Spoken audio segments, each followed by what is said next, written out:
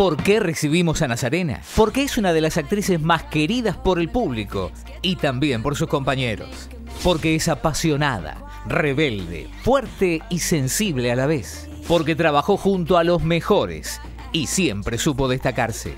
Porque creó uno de los éxitos teatrales más taquilleros de los últimos años. Porque superó la muerte de su querida hermana Jazmín y fundó una productora en su honor. Porque tuvo tres hijos, de los que está más que orgullosa. Barbarita, Gonzalo y el pequeño Tiago. Hoy, ellos son su salvación y su razón de vivir. Porque superó todas las pruebas que la vida le fue poniendo por delante y porque es una leona argentina que nuevamente se está poniendo de pie.